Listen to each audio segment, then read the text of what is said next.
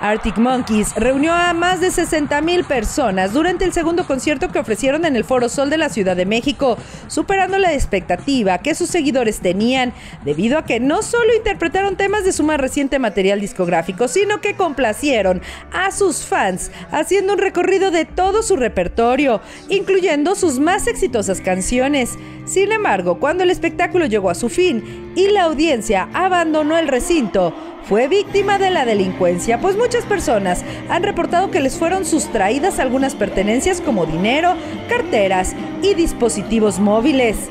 A pesar de que la agrupación británica visitó nuestro país hace poco menos de un año, cuando formó parte del line-up del Corona Capital, la última vez que ofreció un concierto en solitario en México fue en el 2019, por lo que sus fanáticos no cabían de la emoción cuando la banda anunció su regreso a la Ciudad de México. La noticia fue también recibida que anunciaron que no sería una, sino dos fechas en las que pisarían el Forosol, recinto al que regresarían cuatro años más tarde. Y aunque sus fans han inundado las redes con comentarios positivos con respecto a el desempeño de la agrupación,